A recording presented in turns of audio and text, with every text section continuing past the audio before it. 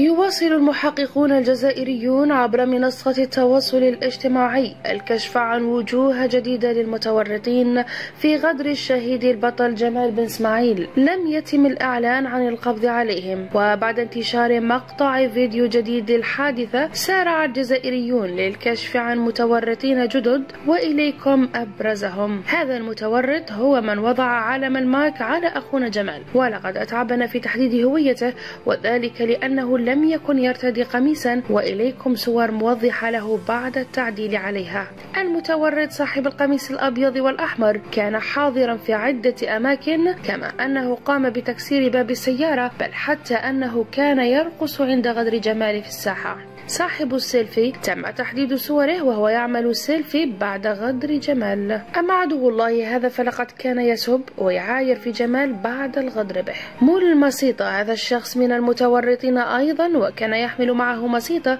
ليضرب أو ليضرب لحظة غدر جمال. وإليكم صور أخرى لبعض المتورطين الجدد والذين تم الكشف عنهم مؤخرا.